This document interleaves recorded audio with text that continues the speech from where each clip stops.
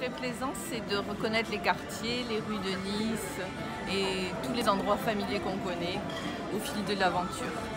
Voilà, c'est très plaisant.